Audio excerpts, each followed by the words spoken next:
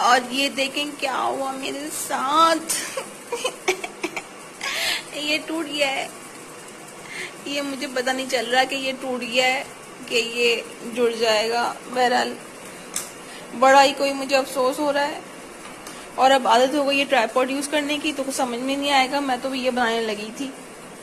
अब ये तो मैं अभी भी बनाऊँगी। लेकिन मैं शेयर करना चाहती थी आप लोगों के साथ। अब बगैर ट्राईपॉड के देखे मैं कैसे करूँ?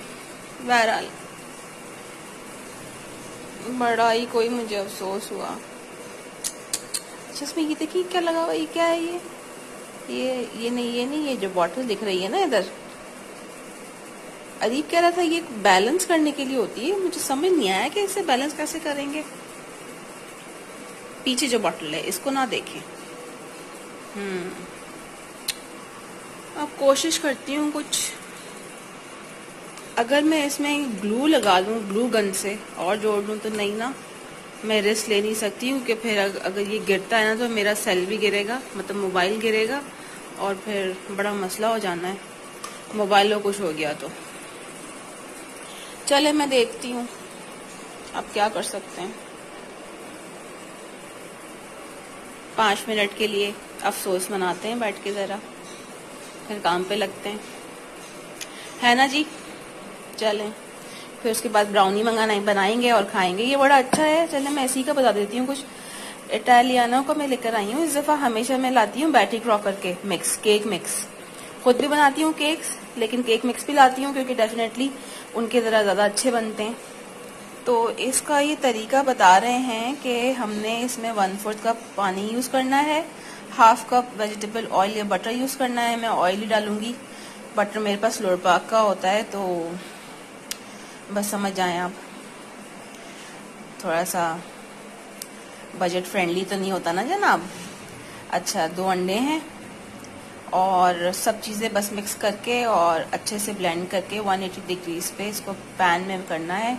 अब मेरे पास जो है वो ये वाला पैन है तो 38 वही 40 मेरा खैर जो अवन से मेरा जो हिसाब किताब सेट हुआ हुआ है ना अवन के साथ वो 40 45 मिनट्स में मेरा केक बेक होता है पैन में। माइक्रोवेव में तो खैर मैं नहीं करूँगी। माइक्रोवेव में एक दफ़ा बनाया था तो वो बड़ा मेरा बुरा एक्सपीरियंस निकला क्योंकि वो बल्कि बैटी क्रॉकर का ही मैं केक मिक्स लाई थी और वो मग केक्स जो शुरू हुए थे ना तो वो मेरे तो उसमें तीन सैशेज होते हैं, अगर आप लें बैटी क्रॉकर का मग केक बनाने के लिए।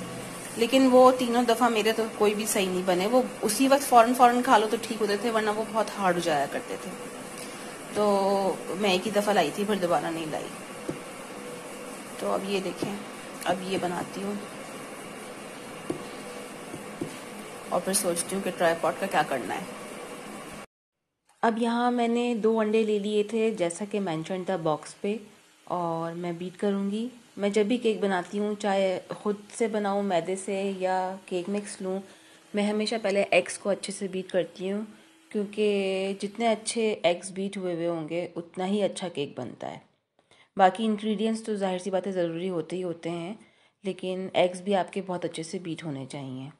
और जैसे मेंशन था बॉक्स के बॉक्स की इंस्ट्रक्शंस पे वैसे ही मैं ऑयल और वाटर सब ऐड करूँगी सबको मिक्स करके फिर एंड में जो है वो पूरा केक मिक्स डाल दूँगी और पहले उसको अच्छे से फोल्डिंग करूँगी। अच्छा ये जो है ना मुझे बहुत ज़्यादा ब्लेंड करना पड़ा।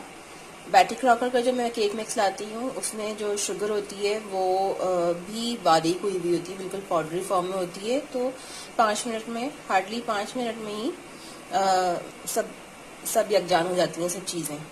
इसमें जो था ना शुगर मुझे फील हो रही थी मतलब ग्रेन्स बड़े थे तो ये कि बहुत ज़्यादा इसको फोल्ड इन करना पड़ा बीट करना पड़ा मतलब उससे। अभी थोड़ी कसर है मैं भी करूँगी।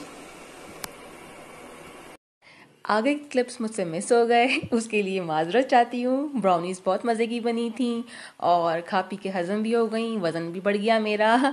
और बस यही मेरी आज की वीडियो थी। उम्मीद अच्छी लगी होगी। ख्याल रखिए, मुझे दुआ में याद रखिए। अल्लाह हाफिज़।